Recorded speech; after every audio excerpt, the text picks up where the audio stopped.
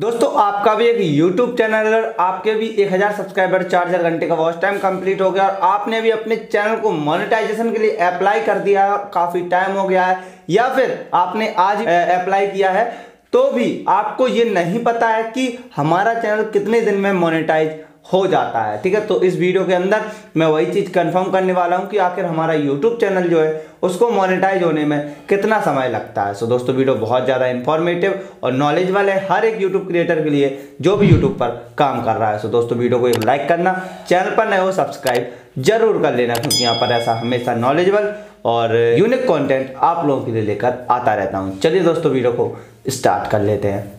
दोस्तों, आप सभी को पता होगा कि YouTube चैनल को मोनेटाइज करने के लिए सबसे पहले 1000 सब्सक्राइबर और 4000 घंटे का वॉच टाइम कंप्लीट करना होता है। या फिर अगर आपका शॉर्ट्स चैनल है तो भी आपको 1000 सब्सक्राइबर 4000 घंटे का वॉच टाइम या फिर 1000 सब्सक्राइबर और 10 मिलियन व्यूज़ 90 दिन के अंदर कंप्लीट करने होते हैं तो आपका शॉर्ट्स चैनल मोनेटाइज होता है। और लॉन्ग चैनल के लिए सिर्फ़ एक हज़ार सब्सक्राइबर चार हज़ार घंटे का वॉच टाइम ठीक है? तो ये कैटेगरी कुछ क्राइटेरिया होता है यूट्यूब चैनल को मोनेटाइज करने का। मान लीजिए अब आपका ये तो कंप्लीट हो चुका है, लेकिन आप अपने चैनल को मोनेटाइजेशन के लिए अप्लाई कर रहे हो। और उस समय आपके दिमाग में ये क्वेश्चन आ रहा है कि आखिर मैं आज अप्लाई करूँगा तो मेरा चैनल कितने दिन तक, यानी कि कितने दिनों बाद मोनेटाइज हो जाएगा, ठीक है? तो वही चीज़ डिस्कस करते हैं। दोस्तों, देखिए, आपको जब आप अप्लाई करते हो अपने मोनेटाइजेशन के लिए, अपने चैनल को तो फ़र्स्ट स्टेप जो आपका होता है, वो तो ऑटोमेटिक से ही डन हो जाता है। उसमें कुछ करना ही नहीं होता है आपको टर्म एंड कंडीशन पढ़नी होती है टिक लगाना होता है और वो डन हो जाता है। अब दोस्तों, बात आती है जो लास्ट के दो स्टेप्स के अंदर, ठीक है? जो कि दूसरा स्टेप होता है गूगल एडसेंस का, तीसरा होता है मोनेटाइजेशन का, जो कि हमारा चैनल जब रिव्यू में पड़ा होता है उस टाइम ठीक? अब दोस्तों, जब हम पहला स्टेप डन करके दूसरे स्टेप पर आते हैं तो वहाँ पर कुछ कंडीशंस होती हैं, यानी कि वहाँ पर अगर हमारे पास कोई एडसेंस अकाउंट होता है तो उसको हमें अटैच करना होता है, या फिर वहाँ पर हमें एक नया एडसेंस अकाउंट बनाना होता है, ठीक है? तो नया एडसेंस अकाउंट जब हम बना देते हैं तो उसमें अगर आपकी कोई प्रॉब्लम हो जाती है, ठीक है?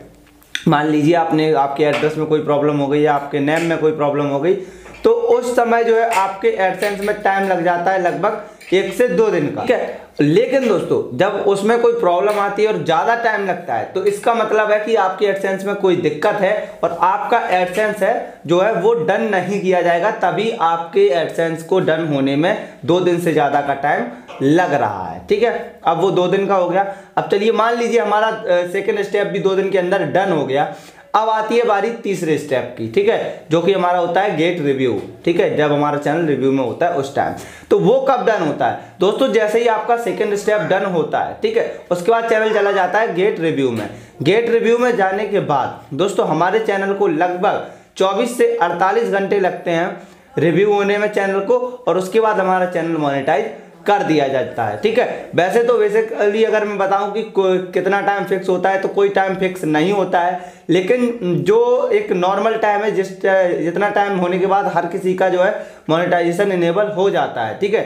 यानी कि 24 से 48 घंटे आपका थर्ड स्टेप लेता है, और लगभग लगभग 24 से 48 घंटे ही आपका सेकेंड स्टेप भी ले लेता है ठीक है? या फिर कभी कभी सेकेंड स्टेप जल्दी भी डन हो जाता है ठीक है? मेरा 26 से 27 घंटे में डन हो गया था ठीक? सो so, ये कुछ कंडीशन है यानी कि अगर मैं ज़्यादा से ज़्यादा समय की बात बताऊँ तो सात दिन के अंदर आपका चैनल मोनेटाइज कर दिया जाता है, ठीक है?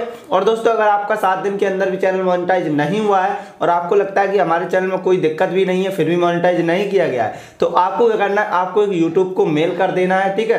फीडबैक दे देना है कि भाई, मेरे चैनल में कोई दिक्कत नहीं है, आप लोग मेरे चैनल को पेंडिंग में कर दिए हो तो उसको आप रिव्यू करो चेक करो और मोनिटाइज करो, ठीक है? तो वो चीज़ यूट्यूब चेक करता है और हमारे चैनल को जितनी जल्दी हो सकता है, उतनी जल्दी मोनेटाइज कर देता है, ठीक है? वैसे बेसिकली ये किसी को करना नहीं पड़ता है, लेकिन मैं आपको एक ये अलग से बोनस पॉइंट दे रहा हूँ, जिसमें कि आप लोगों का चैनल मोनिटाइज जल्दी से जल्दी हो जाएगा, ठीक है? अगर आपका होल्ड हो जाता है तो।